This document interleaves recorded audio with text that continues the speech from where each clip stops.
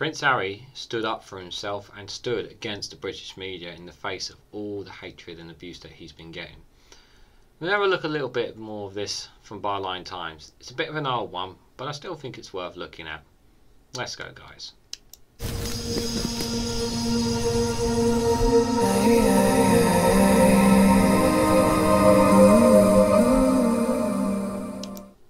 Morning, good afternoon, good evening, guys, wherever you are in the world. This is a Regan Elite here with an article from Byline Times. As I've always said, Byline Times do fantastic work, and if you guys want to join their work and help them continue the progress that they make, I will put a link in the description for you guys to look at.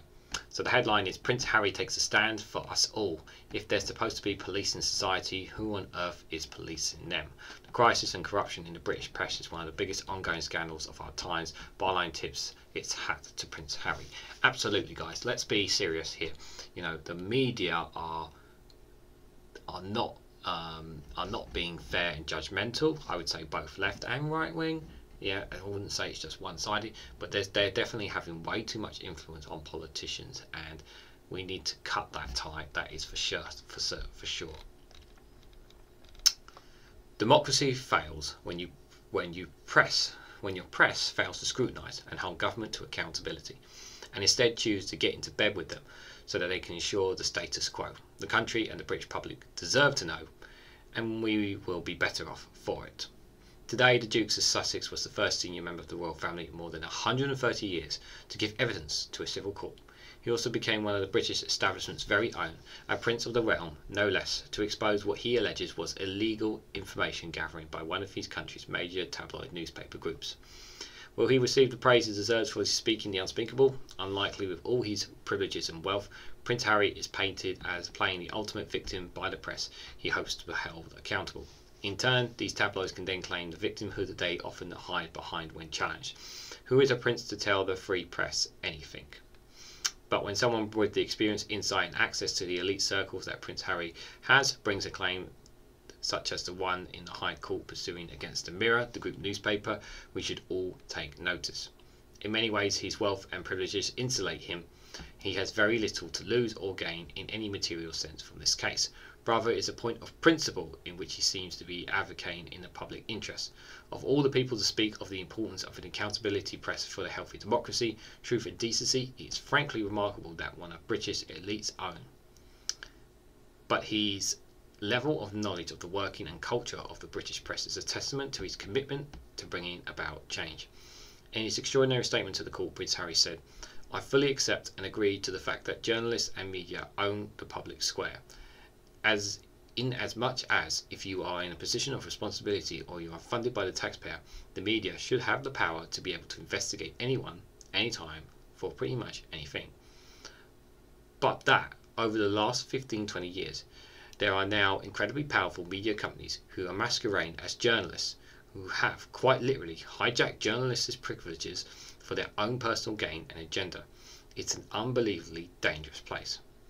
How often do we hear anything about journalistic privileges? The Prince went on to say, Whoever you are, if you are of interest to the press of that time, wherever you are, whatever you're doing, if you're in private or in public, you are a target. You become a victim of their system. He's absolutely right um, with that. But there needs to be a balance and to be quite honest, that balance is, is very much broken. It's here in the UK, definitely in the US, and other nations as well. Um, people with immense power and money are using the change, uh, putting it into the hands of politicians to dictate things, to have people tell people things that they want them to hear and not what they're supposed to hear. They claim to hold public figures to account, but refuse to hold themselves accountable, he said. If they're supposed to be police in society, who on earth is policing them? Well put. Even when the government is scared of alienating them because of positions of power, it's incredibly worrying for the entire UK. For the fifth in line to the throne, this claim is about trying to save journalism as a profession.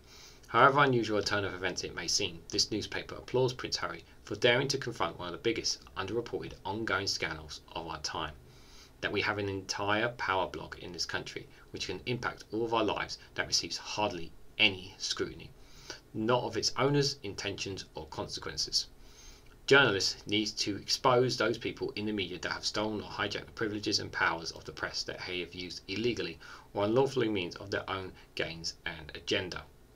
His statement says, I am bringing this claim not because I hate the tabloid press, or even necessarily a section of it, but in order to properly hold the people who have hijacked those privileges which comes to being a member of the press to account for their actions. In remarks that particularly caught the eye of the Daily Mail, but Prince put it bluntly, on a national level, at any moment, our country is judged globally by the states of our press and our government, both of which I believe are at rock bottom. Absolutely. And right now, we are the laughing stock of the world. You know, you go to media outside the UK and, and you know, you know, there was a story where or there was an Australian um, um, news outlet were reporting on the deal that we have with Australia, and the, the and the media outlet and people on there were laughing. They're laughing because of how pathetic our deal is with them.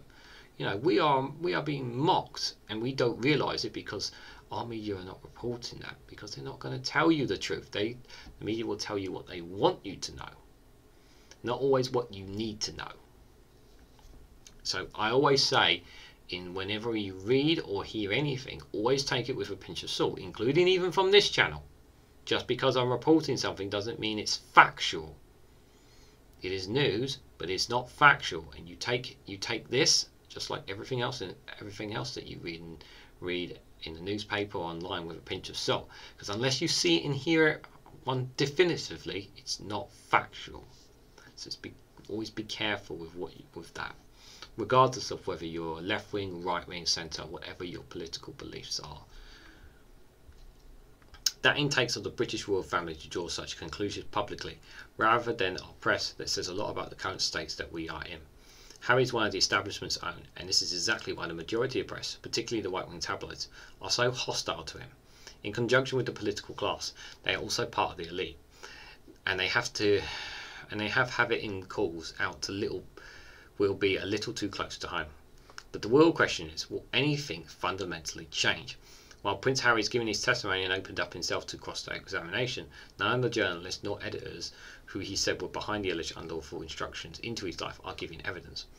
Fielding questions about specific journalistic practices in tabloid newsrooms is not for the Duke of Sussex. So will there be ultimately be any answers or accountability from the press itself? Beyond some limited high profile media coverage of the court cases, which inevitably always frames the issue of historic phone hacking allegations, rather than distorting culture of some of the biggest newspapers and proprietors and editors stays really at heart. While the Conservative government is shelved at taking part of the landmark Leveson inquiry into the press ethics and practices, which followed the exposure of the phone hacking scandal, there is no guarantee of what change the government will help. So Keir Starmer's Labour Party swims in the same toxic, toxic waters as the crop as the current crop of politicians in charge of those. Yeah, remember Keir Starmer had a meeting with Rupert Murdoch many many years ago as well. So bear that in mind as well, people. If you, if you don't believe me, go and look it up. It's absolutely true. He did an article for the Sun. Will media reform be higher on its list after more than a decade out of power? We will have to wait and see. But it should be because, as Prince Harry has said, if newspapers can, tru- can truly believe they are above the law, it's the general public that suffer. It really is that simple. Yeah, of course, we suffer as a result if we're not told the truth. If we are told to believe something, and we're not being told the truth, then then what is truth? What is accurate? What is not is information that we are being given? Is it is information that we're being told is 100% accurate? This is very serious stuff, guys. You know, being told, being given the most, the most correct and most accurate information is vital, vital journalism. It's difficult to see how Britain would be in the position it is now, weekly, politically and economically, both at home and on the world stage, if a truly independent and accountable press had provided the necessary checks on power all healthy Democrats need. I have never understood how being a journalist isn't seen as anything but an immense privilege and responsibility, exaggerating what is happening around us and why, getting closer to the people and the events that matter, but having the tools to expose wrongdoing is one of the most fulfilling and important jobs there is. But the truth is, it's all too often not seen like this at all. Too much of the established British journalists remain an elite, close club, close to power and influencing it, while claiming to have none but playing victim when it is scrutinised in the slightest. That it continues to get in the way of its ability to sort our politics and society in one of the biggest stories. one of the biggest stories are scandals of our time. Prince Harry's taking a stand for us all. And that was by Hardeep Matharu. She's absolutely great editor of Byline Times. Um, she is.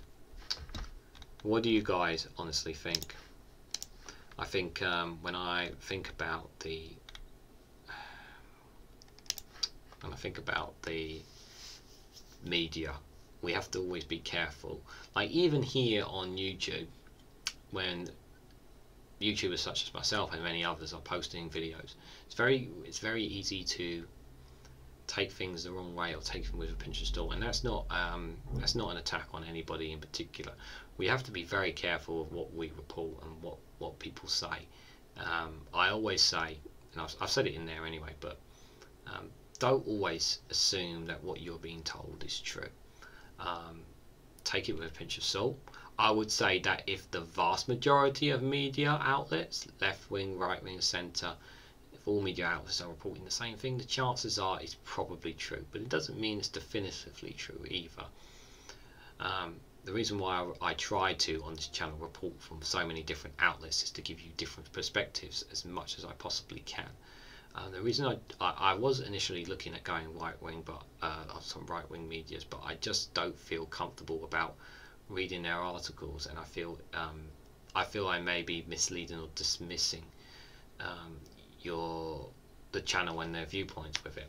I'm very reluctant to go to the right wing. I did have an opinion of going there, but I've chosen not to at this moment in time. But things may change.